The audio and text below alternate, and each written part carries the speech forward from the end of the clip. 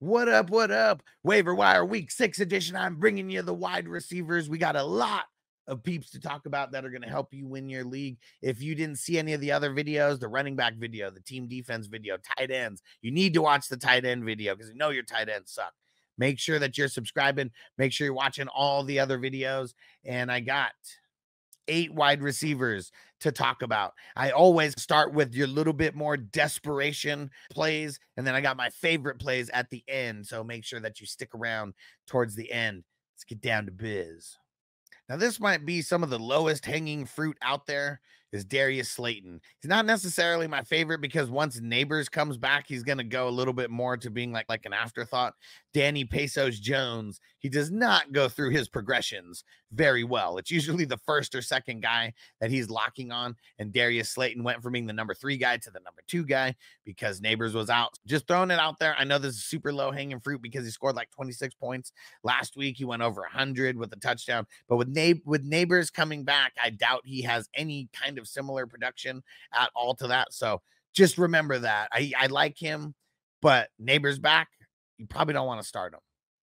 I told you that this list it always starts with a very very dart throw desperation like type of guys.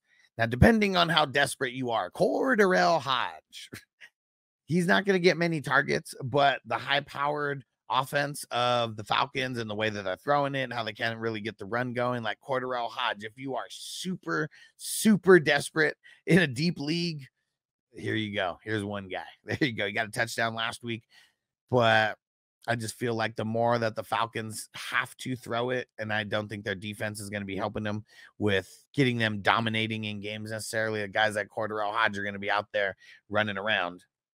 He had 18% of the snaps this week. And that's like my main reason for even bringing him up because before this, he's playing in like 5% of the snaps. He actually jumped up a lot. And I guess it's going to depend on like Drake London because we know he's a little bit banged up right now. So that's like another reason why you would even play a KhaDarel Hodges if there's anything wrong with like Drake London in general. Here's another desperation wide receiver potential pickup and flex this week. Rashod Bateman. I usually say don't fall for the bait, man. Yeah, He's gotten two touchdowns this year, and those have been the games that he's gone over double digit points. The only games that he's gone over double digit points. But they go against the Commanders this week, and you know that even the even though the Commanders defense stepped it up a little bit, they still give up the booty to a lot of positions, including the wide receiver.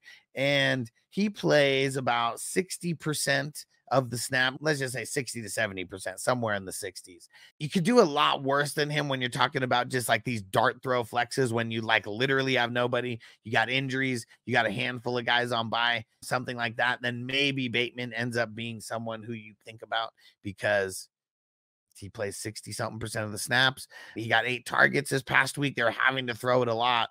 And the way that Washington's been playing recently, I feel like they will be moving the ball and scoring points. And probably going to force the Ravens to have to throw it a little bit more. But you got to be desperate. Another desperation type of wide receiver here, Mr. Ray Ray McCloud. 11 points in each of the last two weeks, 16 total targets in the last two weeks, 12 receptions, over 50 yards in each of the last two games. It's not great, but you need someone to get you around 10 points, whether he scores a touchdown or not. Ray Ray McCloud's been that guy running out of the slot for the Falcons. So depending on your level of desperation, I like this guy way better than Hodge, way better than Bateman. You know, he's been pretty solid as their number three wide receiver option over there.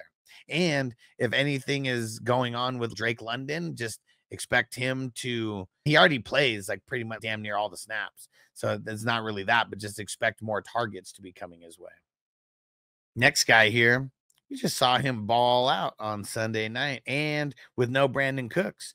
Jalen Tolbert, that's who we're talking about here, ended up being a really solid flex pick up and play. He had 10 targets, seven receptions, 87 yards, had that touchdown. They got Detroit coming up this next week, and Detroit, you really can't run on them, but you can throw on them a bunch. So Jalen Tolbert is a for sure pick up and start. Pick him up if you need a flex play for week six. I would assume a lot of snaps, played like almost 90% of the snaps. and 10 targets, even if he's not getting 10 targets a game, but if it's anywhere close to it, that's what we want out of a flex. A guy who's going to get some opportunity, a guy who plays in an offense that throws a lot. And yeah, he's only 7% rostered. So go pick him up. Pick him up. Next guy here. It's so funny. If you're watching this on YouTube, he looks more stoned than me. His eyes aren't even open while he's like smiling and cheesing. Allen Lazard. This was his third game with over eight targets. He got 10. So it was actually the highest of the season. Only four receptions, only 34 yard, uh, only 34 yards, but he did get the touchdown as well. And the one thing that he's going to have going for him is that him and Aaron Rodgers, they're at least a little bit more on the same wavelength than it seems like him and Garrett Wilson are most of the time, even though Garrett Wilson balled out. Like I told you guys, don't sit him for any bums. Allen Lazard is just going to get those targets, man. Like they they throw it a lot. Teams like they're really doing whatever they can to stop the run, and they've been doing it. It's been pretty bad. And they got Buffalo this week, and it's been a lot easier to run on Buffalo than it has been to throw. But I feel like no matter what, Aaron Rodgers is going to keep chucking the ball, and Allen Lazard, he's definitely one of his favorite targets out there. So what do we do? Pick him up. Let's do it. Now I got two wide receivers to talk about. I consider them one and the same because you're probably not going to go get both of these guys because they play on the exact same team. Josh Downs, I told you if it's Flacco to go pick him up. Pick him up. He only got 12 targets, only got nine receptions, and he only got 69 yards. 69 dudes. Very good. And if it's Flacco moving forward, I want him. If it's Richardson, I don't want to play him. And that's how it's going to be for him and this next guy here. Of course, you know that I'm talking about Alec Pierce. Balled out, three targets, three receptions, 134 yards, and a touchdown. He's got three touchdowns on the year the reason why I like Downs a lot more, three targets versus 12, who's going to be a little bit more consistent with the points and their production and all that. He almost had two touchdowns. He got taken down at what, the two yard line, three yard line, something like that. But yeah, Alec Pierce, if he is available, pick him up. But I am only playing him only if it is Flacco. I only got one more, and this is my favorite of the entire show. So make sure you guys hang around and hit that subscribe. My last guy on the list, Mr. Darnell Mooney. I have been telling you to go pick this dude up.